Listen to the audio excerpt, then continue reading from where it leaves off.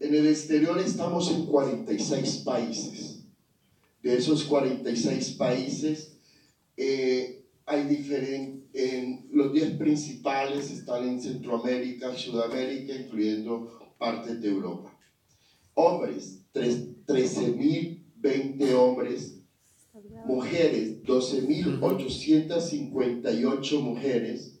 LGTBI, 71 no informan 215 personas, personas incluidas por etnia afrocolombiana 2076, indígenas 518, palenqueros 15, raizal del archipiélago de San Andrés y Providencia 4, RUM 1 y ninguna 22.977 personas hasta el día 30 de septiembre del 2019 son las estadísticas que hay. Pero también hay que informar de que estamos en aumento dado la polarización y la situación de víctimas en el conflicto que están pidiendo protección internacional muchas veces en países transfronterizos y en Europa. Por ejemplo, España estamos desbordados Estamos gente, compañeros y compatriotas durmiendo en la calle porque no hay espacios en estos momentos en ninguna parte de, de, de, Valencia, ni de Madrid, ni ninguna parte.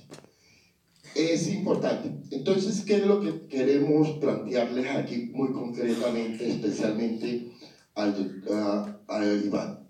Iván, la comisión, eh, la ley 1448 del 2011, tiene su promulgación hasta el próximo año 2021. Supuestamente el presidente Duque ha dicho de que iba a ampliar la ley durante 10 años. Pero ¿qué pasa? Si el 30 de marzo del 2011, perdón, del 2020, la ley no está aprobada y sancionada por presidencia, corremos el riesgo de que esta ley no siga funcionando más. Ese es un problema que tenemos.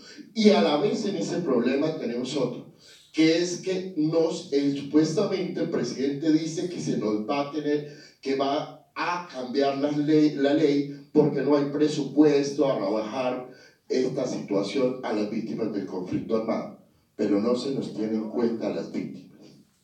No se nos tiene para el cambio o la ampliación de la ley 1448. Ese es un problema y esto es una situación que tenemos nosotros que estar planteando y que debemos estar ahí. Vamos a ver si lo logramos el 5, el 6 o el 7 y vamos a procurar que se nos escuche. Otra cuestión que también se ha pasado por debajo de, de la solapa, poder llamarlo así un término coloquial colombiano, es la restitución de tierras. La restitución de tierras es un proyecto, el, el proyecto se acaba ya. Nosotros no hay ninguna cuestión de ampliación y eso hay un grave problema de riesgos eh, para la ampliación de los delitos y los asesinatos y homicidios que se vienen presentando en Colombia. Ese es un grave problema que tenemos sobre la restitución de tierra.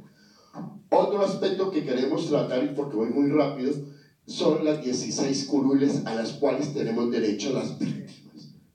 No vemos partido ni nada, pero son 16 curules que tenemos nuestro derecho estar representados en el Congreso de la República. Ese es un tema que debemos tener todas las fuerzas, el apoyo de la comunidad europea, de todos los estamentos, para que eso se haga una realidad.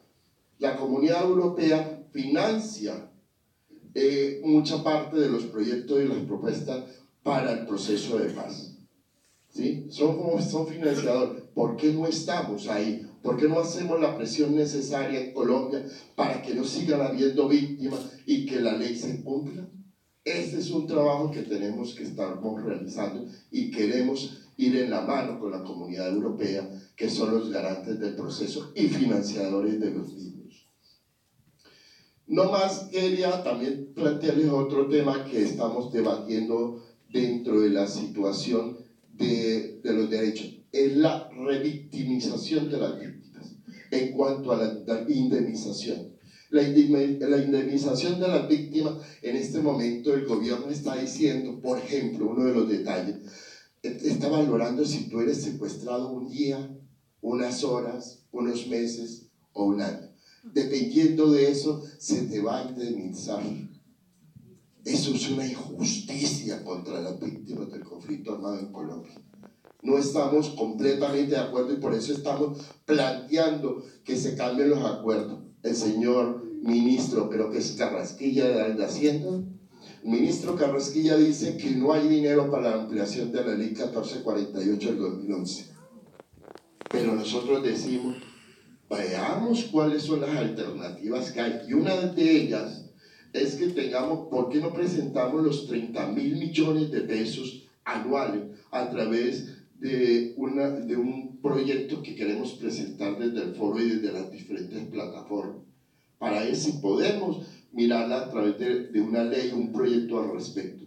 Y para terminar, ya basta de seguir asesinando a los líderes y lideresas sociales.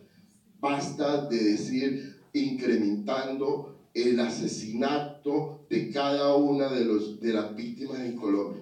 Ya no podemos resistir más. Por eso todo es un compromiso y que se cumplan los acuerdos de La Habana. Es lo más importante. Y que se comience, como lo dijo Iván Cepeda, los diálogos de paz con el Ejército de Liberación Nacional. Eso es uno de los términos que nosotros vamos a tomar en la bandera y, la, y el foro internacional los que pertenecemos al, a, a, la mesa nacional para que los, se cumpla esta promesa y estas promesas. Muchas gracias.